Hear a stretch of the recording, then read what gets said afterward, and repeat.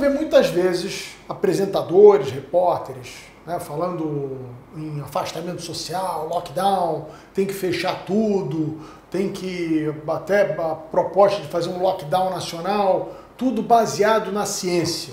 Né? A verdade é que esse assunto do coronavírus ele foi muito politizado.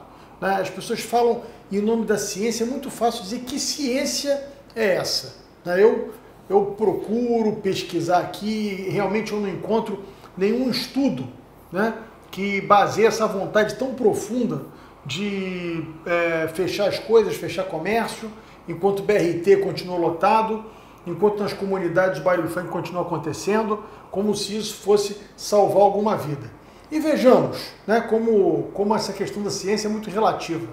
A Fiocruz é a maior defensora de um lockdown até nacional, né? orienta para que é, restrições mais duras sejam feitas em relação às atividades econômicas.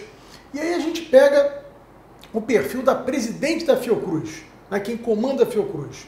É uma médica, é uma cientista é, especialista em, em doenças virais, é uma enfermeira, durante anos atuou em emergências de hospital, é uma pessoa de campo. Não, é uma socióloga. Uma pessoa que talvez tenha uma formação até muito parecida com a minha. Então, assim, é a pessoa que entende de sociologia. Mas essa pessoa, em nome da ciência, comanda uma instituição que diz que você não pode sair para trabalhar, porque senão você vai morrer de Covid.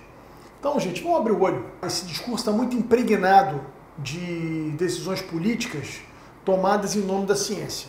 E quem está sendo prejudicado é você.